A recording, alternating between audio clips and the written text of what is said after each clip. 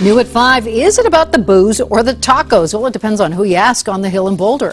7 News reporter Russell Haythorn is weighing the debate, and Russell, a restaurant there wants to stay open late to feed people, but some say it's just a license to overserve alcohol to college kids.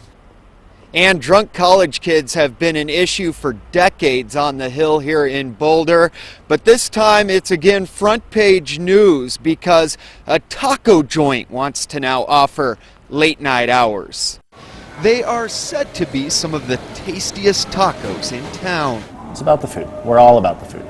Usually open till 9, La'ao's Tacos on the Hill in Boulder now wants to stay open till 2.30, serving food and alcohol. We are willing to take whatever steps we need to to make this happen because we feel that this could be a great opportunity for our, bus- for our business. Feeding the bar crowd, but some have taken issue, saying it will just add to the debauchery already plaguing the Hill. Are they inherently going to be serving more alcohol, putting more patrons out on the hill in the early morning hours having consumed liquor? City Council will now revisit the issue. We're not about trying to get people drunk late at night. The city has limited enforcement ability to tell an establishment, yes, you can stay open, but no, you can't serve alcohol. You guys have us pegged wrong. We are about the food, we are about this community that we're a part of.